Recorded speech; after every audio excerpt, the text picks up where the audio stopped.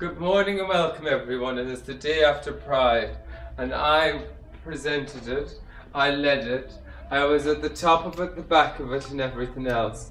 And now I'm in Vivien of Holloway, which has got the finest dresses as you can see. Marilyn's red one, we've even got a white one over there. You can come a bit closer here, I don't bite too much and you can get changed in these lovely dressing rooms. Look at them, aren't they beautiful? The fabric alone costs about a hundred pound a meter. They've got dresses, they can have your hair done, they can do your eyes, your eyes, they can do the hats, these little things here, these little flowery things. They've even got the glasses. Now, I'm sorry, but Marilyn Monroe may have had the figure like I had 10 years ago, but these dresses pull you in to make you look amazing.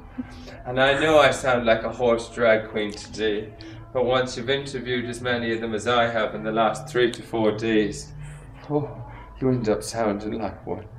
And I wish you all the best in the world, Vivien of Holloway, because it's just two minutes from the station you cross over the road and you walk down and you meet these beautiful ladies who are glitzed and glamoured in the 1950s. Is that right, dear? And the 1960s, and they've got some amazing lamps, which I think I might have just broke. but I didn't break it. I had nothing to do with it. I just told her how to get her money back. And if I could tell you, we've got some very lovely people up here as well. Zoom in, zoom in, get closer to them of all the different type of things that they sell because that, that, that really should be Marilyn Monroe, I think. But she's probably someone very famous that my ignorance doesn't know.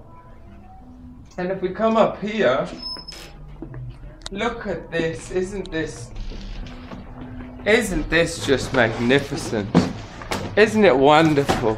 I mean, Dame Edna herself should be coming here, dear. Look, you've got the lips, you've got the head, you've got everything. You've got the dresses like they have for the for the. Help me out, dear. Where are the dresses from? These little ones. You can even get them for your baby. The gypsy tops. The gypsy tops. Would they look amazing with the pedal pushers? Yeah, yeah, yeah. And look at the trousers.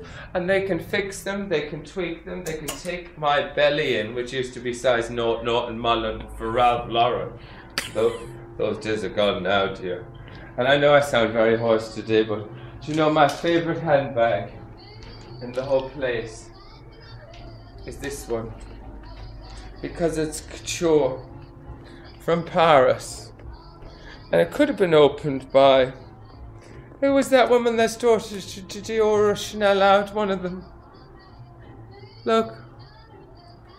They've got it all here. Um, They've even got the lamps flown in. And look at these for stylish lamps. Aren't they gorgeous?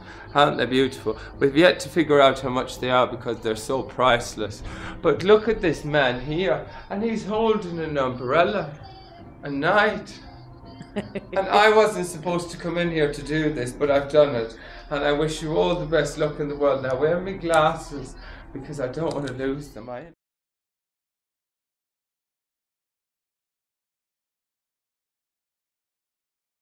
say happy pride to everyone. Good luck to Vivien of Holloway for all the presents they've just given me. But the one that I'd really love the most is this poodle. And there we say good night and God bless you all.